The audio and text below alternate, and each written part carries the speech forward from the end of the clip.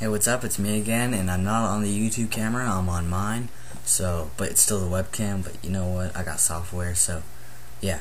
I'm doing this review on the Supra TK Society Black Suede. Let's get started.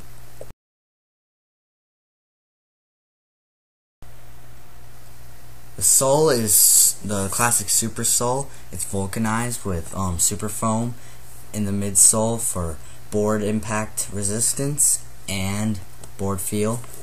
Um, it's got two black pinstripes across it and the Supra stamp on the back. It's got the black crown and one downside to the black suede soles is that the bottom is white so you can see right here it's already dirty but you know it gets clean pretty fast just by walking it away so yeah.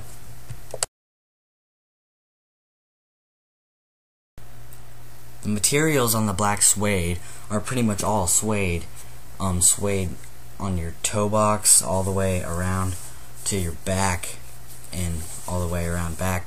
But the inside is like a soft really fine um just this nice material. I don't know what the name is. And then the tongue is just puffy light leather.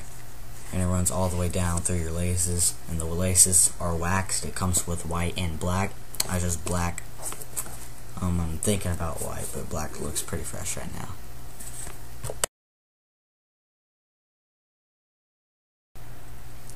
I wouldn't recommend skating this shoe, but if you do want to, it's great for it with its vulcanized sole. It provides a lot of board feel. Um, the back is this heel protector and heel holder. It'll hold your heel in place with this polyurethane um, frame, and it'll just keep it in there and protect you from snake bites and boards. Just every, it's just all around heel protection for your foot, and you can change the tightness with the straps. I wear them both undone. That's just my style and it's just a very comfortable shoe if you do want to skate it.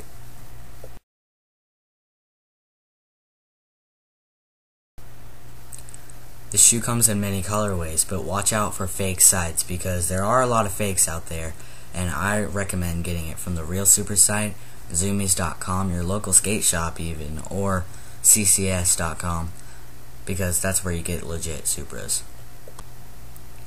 For now on, all my videos will be like this. If you didn't like the reviews before this video, then you can tell me in my inbox and I'll redo them because I kind of want to, but um, not really feeling to take them off right now. But, you know, just inbox me if you want me to redo them, if you want more details about the shoe.